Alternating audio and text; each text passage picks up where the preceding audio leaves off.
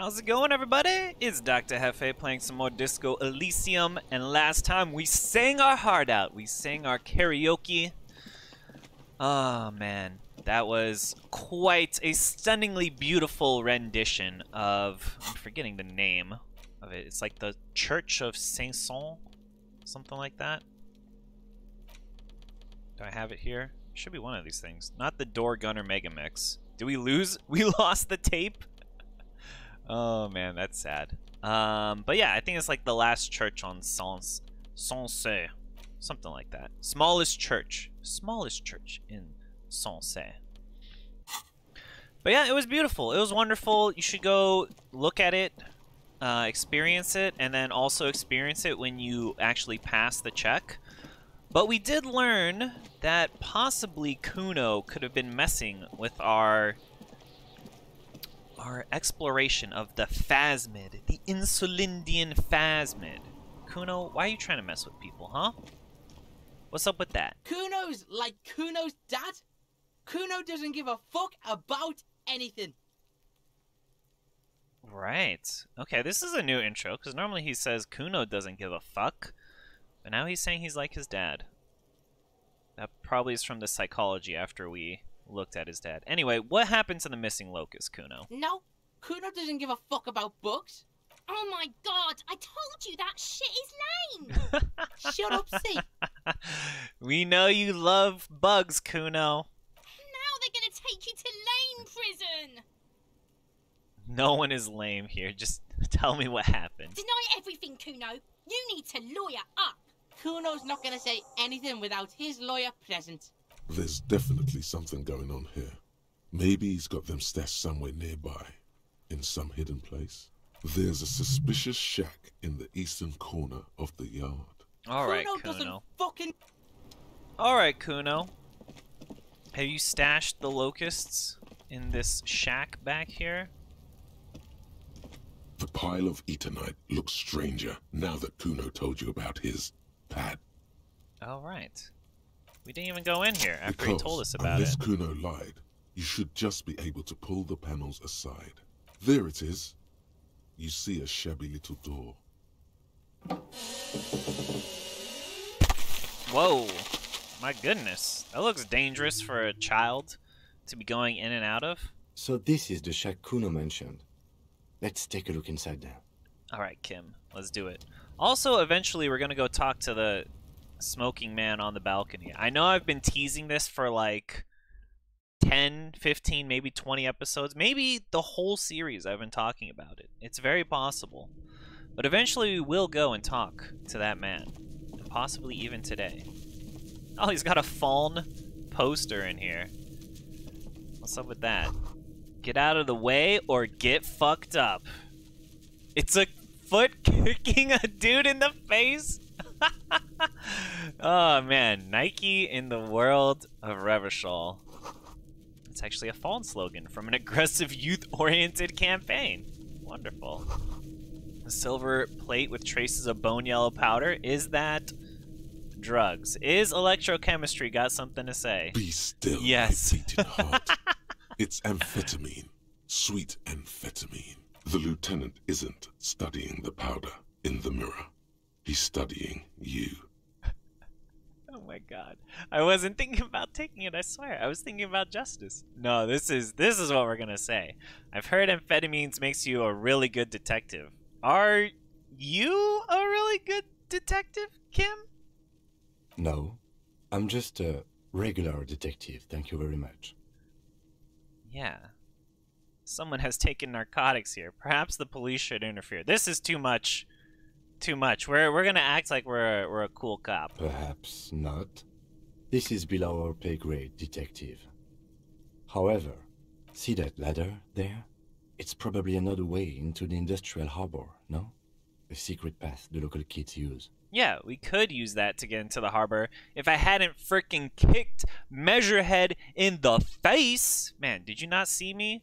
I mean, yes, he did grab my head one time and almost crush it like a rotten fruit, but in the second round, round number two, you know, round one, anything can happen in round one. It doesn't mean anything. Round two, though, My goodness, we just gave that dude a KO. Spinning back kick. Anyway. Cured pig's head. Looks mummified. Wonderful. Everyone loves the Lord of the Flies reference in their video games. Um, what's this? Is this a jug full of amphetamines, please? 34 cents. You know, if I wasn't what's that what's the thought again? If I wasn't so into the indirect modes of taxation, if we weren't into getting one real from that. No, the Wompty Dompty Dom Center. That's where we're getting two real from Encyclopedia. Are we wearing our Beano Clark glasses? We are. Mega Beano. It's crawling with locusts in here. All around you, the hisses and chirps of locusts fill the musky air. The earthen floor of the shack has been shaped into mounds of mud, dotted with little holes for windows. Well, detective, it appears you've solved the case. Kim, I'm sensing a light bit of sarcasm from you. Of the locusts. For the missing locust case, which is a sub-case of the imaginary insect case. So at least that's going well. Stop being so car sarcastic, Kim. My goodness. Oh, I'm not being sarcastic at all.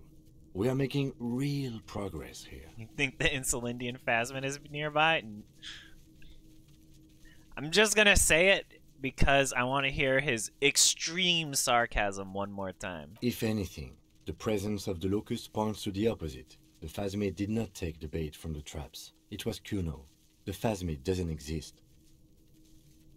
Kim, I was expecting more, a little bit more sarcasm from you, but okay. But what do I know?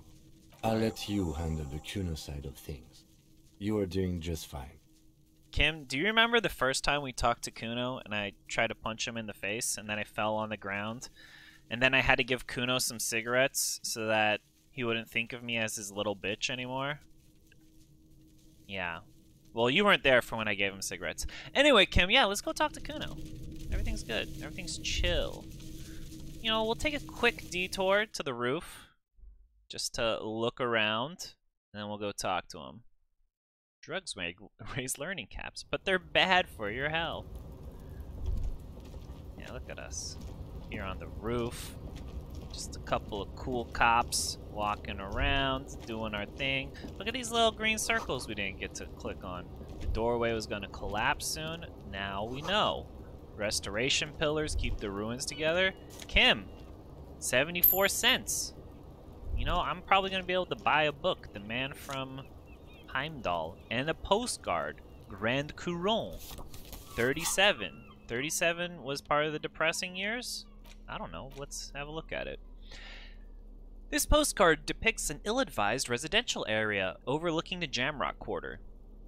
13-story buildings line the hillside like sarcophagi, an ominous fog already rising from behind. These are the last boom years. In 39, the project fails cata catastrophically, leaving behind an opiate and hepatitis B infested slum. Why would you make a postcard out of this? I feel like most postcards are of like beautiful places or silly things or like smiling things, things like that. Not, not, uh, can I click that dot from here? No. Not hella depressing coal city jamrock slums, you know?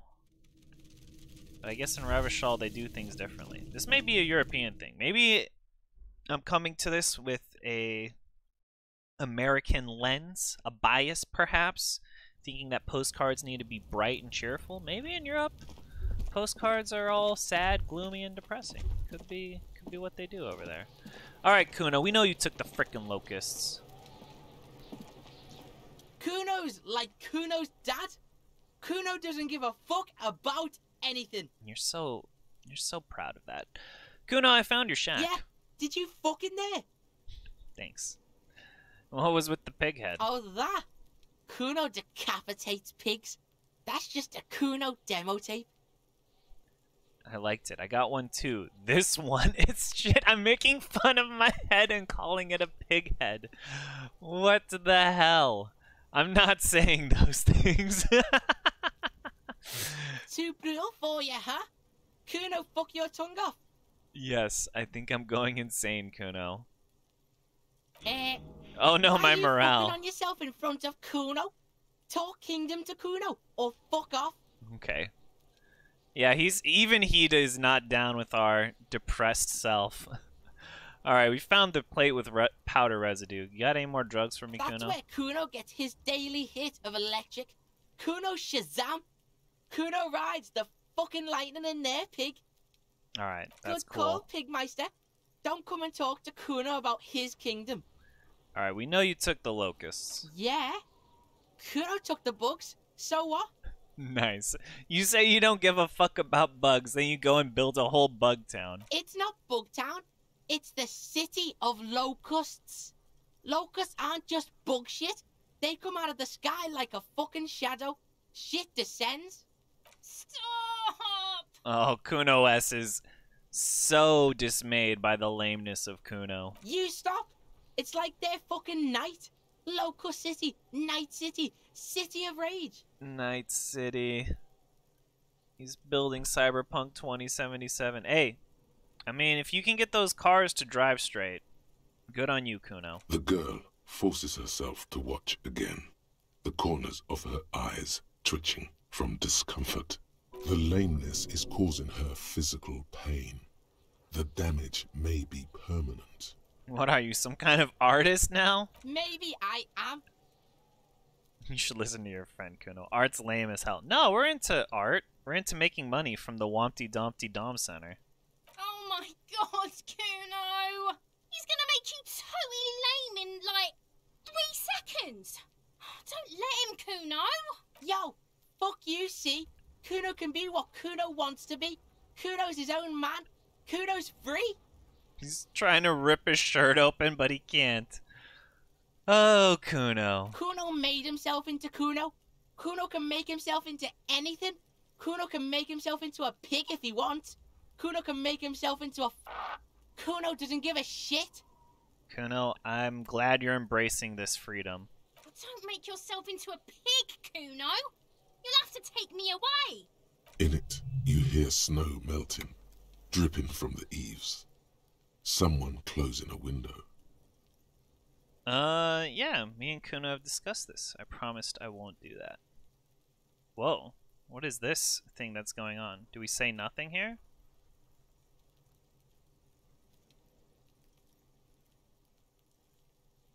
I don't believe you. For once, the boy is lost for words. He turns completely red now, with splotches of white beginning to appear across his face. What's happening here?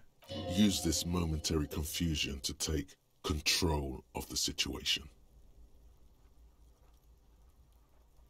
Um, I need you to stop taking locusts from the traps.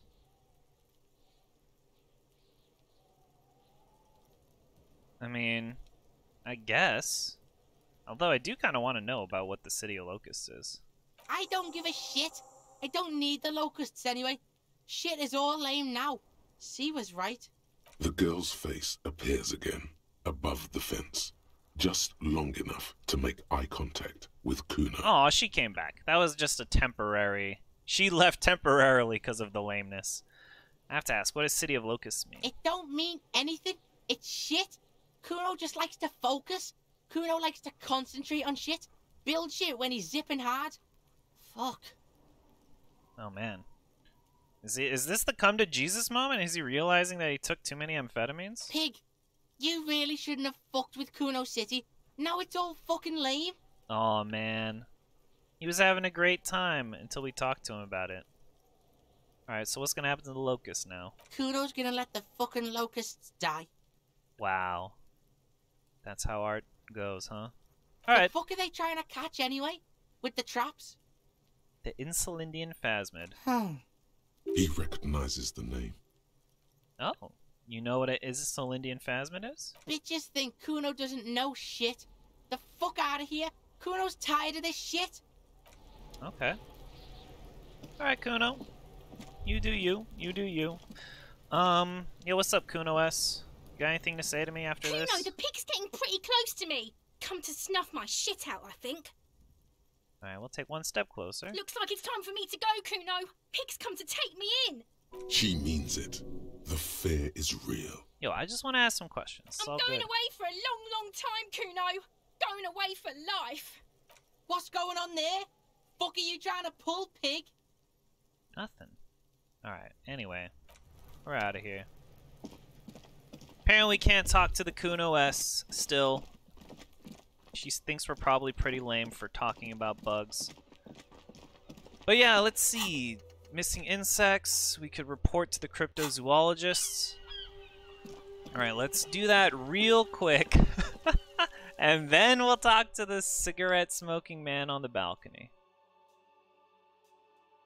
Um, hopefully they don't get too disappointed by this fact. Oh, they're not even here anymore. Alright, that takes care of that. So did uh, the Hardy Boys. The Hardy Boys! I feel like the connection between them calling them the Hardy Boys in this game and the fact that there's a popular young detective novel series called The Hardy Boys is not coincidence. That could just be me. Alright, Kim. You ready? You ready to finally go and see the cigarette smoking man on the balcony?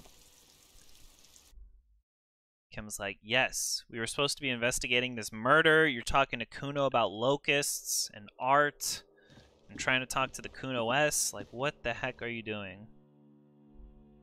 You're like, yo, man, um, Lieutenant Double Yefreitor Harrier Du Bois, aka Raphael Ambrosius Costeau. I do what I want. Oh, cigarette smoking man. So cool. So suave.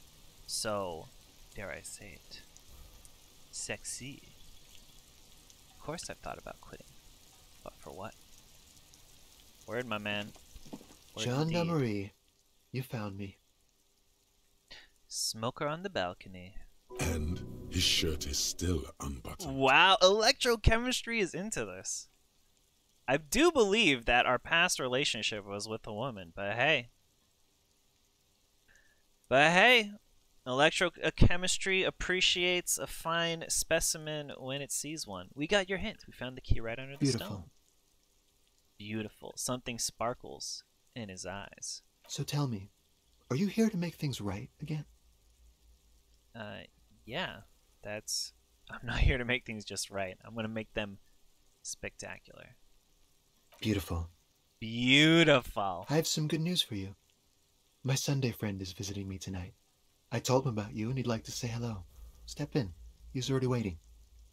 Um, why would I want to meet your friend? I mean, I guess I brought my friend. It's fine if you bring your friends.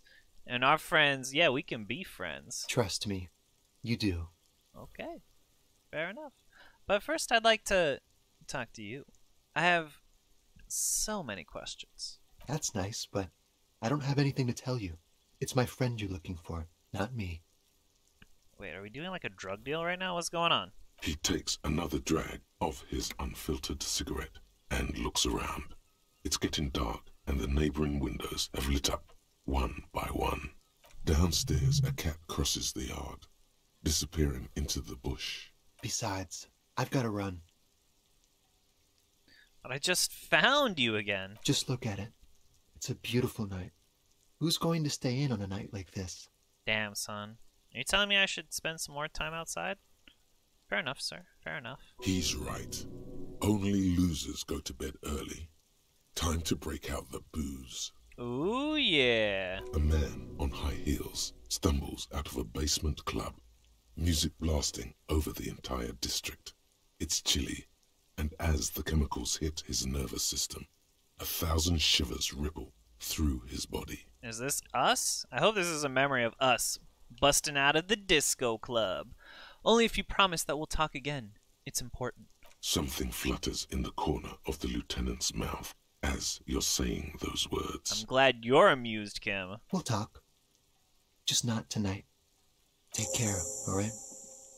Fair enough. Wow, we gained 70 EXP just from talking to this dude. Alright. Bye, my man. Something so different about him that I just can't put my finger on. Different, of course. He smells good. Why on earth does he smell good? His shirt. Why is his shirt always unbuttoned? Yeah, let's do this one. Electrochemistry always likes to point that one out. His shirt. His shirt. Kim is gonna bust out His laughing. shirt. His shirt. His shirt. No, I don't know why his shirt is always unbuttoned. Oh, Kim, I thought you had some insight. Come here. on, detective, let's go. We've got a potential witness to interview. His Sunday friend, remember? All right. Whatever you say, Kim. His Sunday friend. I like that Kim is finds this amusing. But Kim is so sweet. He doesn't he doesn't make fun of us. He just has like a little smile on his lips. Do we have any interesting thoughts? Oh, we have the Koldo Mama Dakwa and the some kind of superstar. We don't need those. We don't need those. Government issues take me all over. Rubber Show, as you can see, a quarterly business magazine. We'll talk to you, sir. We're just, uh, you know, observing the area first. An empty ashtray makes sense for the cigarette smoking man. Dishes soaked up in a pot. Dates for option lectures at a local university. So this man is a student? Goes to the lectures? Flyers for underground parties? Ah, yeah, this guy likes to party. Found a hat, plus one to logic, minus one to suggestion. That's very interesting. This gives you plus two to logic, though. Exquisite canopy bed made of metal.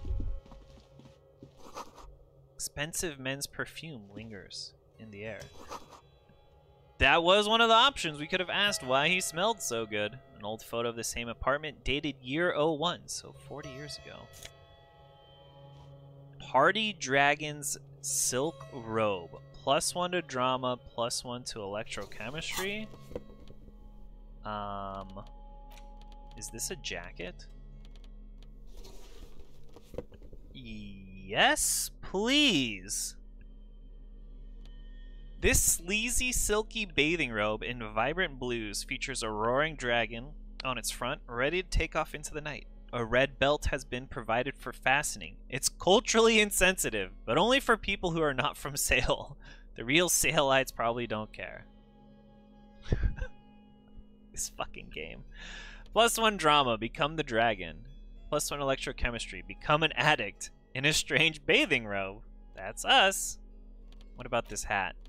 This tawny cone-shaped hat looks like a beacon of Samaran wisdom.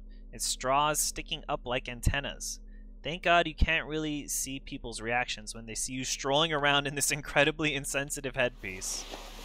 Wow. Yeah. That's something. Plus one logic. Super logical for a cop to wear this.